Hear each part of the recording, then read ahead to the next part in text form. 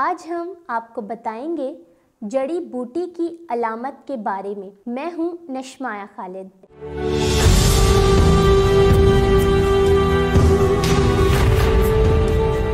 जड़ी बूटियाँ खुदरो पौधों में शुमार होती हैं, जो कि अक्सर बेफायदा, बेकार, तकलीफ़ दे और फ़सलों के लिए नुकसानदेह होती हैं। इसीलिए इन्हें बदी की अलामत के तौर पर पेश किया जाता है।